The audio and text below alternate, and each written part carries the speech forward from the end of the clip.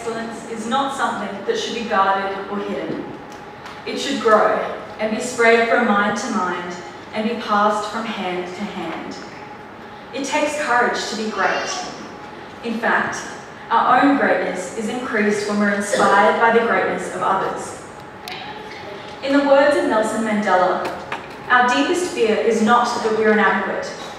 Our deepest fear is that we are powerful beyond measure.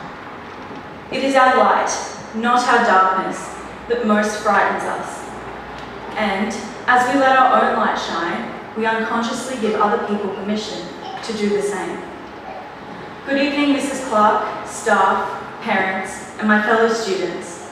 Tonight we are celebrating the achievements of ourselves and we recognise that we are connected to the, the achievements of our fellow students who have gone before us and who are now spread across the globe. We acknowledge the creative and intellectual processes that have allowed our MacKillop women to challenge, to question, and to shine. I stand before you a product of five years of a MacKillop education. A young woman who has changed and grown and most certainly shone as I emerged towards my present self, perched on the edge of an exciting, yet albeit daunting future, a future uncertain but exhilarating, a future we will all face with courage and tenacity, like our patron saint did amidst the challenges of her life. Our courage needs to rise with difficulties and obstacles. St. Mary MacKillop's words from the year 1890 articulate just how we shine in difficult times. There is not one person in this room who has not faced challenges in their life. There is no one here who never faces fears or doubts or great tragedy. Every single one of us has had tough times. However, the skills and dispositions grown into us as MacKillop women allow us to authentically shine. The adults who have worked with us tirelessly, tirelessly in the classroom, after hours, on the sporting fields and on the stage, have developed us into the fine young group of graduates you see before you. Our education at this college will become one of the most, most powerful tools that we can use to create sustainable change in today's complex world. You have a choice. You can either be a passive victim of circumstance, or you can be the active hero of your own life. This school has inspired us to take action. Every story we have ever connected with, every leader we have ever admired, every achievement that we ever accomplish, be it big or small, is the result of taking action. At the 2016 Women in the World Summit, Hillary Clinton exclaimed, we are all agents of change. We are drivers of progress. We are makers of peace.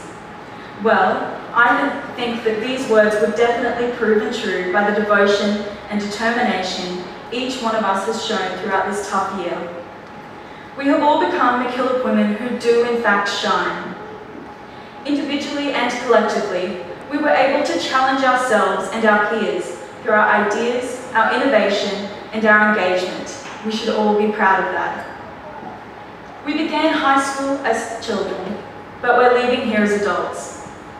We've completed a basic education that will serve as the platform we use to launch ourselves into our futures. Some of us will go on to university, others will go straight into the workforce, but each of us will travel our own path.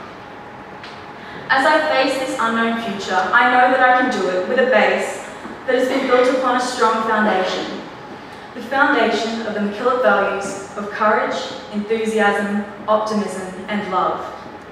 A foundation that will enable us to grab life by the horns and make a real difference in our world. To go out there and challenge the norm. To change science, become amazing engineers, dancers, lawyers, artists, doctors, and filmmakers to break down the barriers that exist and become the leaders of tomorrow, building a better world for those who follow. And we will do so looking back fondly on our time at Mary MacKillop College, which has encouraged each of us to seek excitement, new opportunities and challenges. It takes courage to be great, to be powerful and to shine. But by aiming higher, working harder and staying true to our faith, we all have achieved great things. Thank you.